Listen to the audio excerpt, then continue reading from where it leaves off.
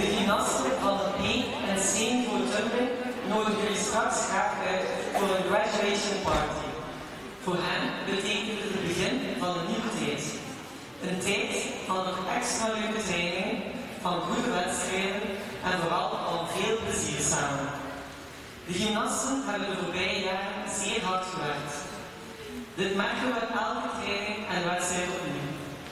Ze staan steeds vol enthousiasme en energie en willen dit dan ook aan jullie laten zien met dit geweldige feestje. Hier zijn de oudste turbanggymnasten onder leiding van trainers Simon, Floris, Julie,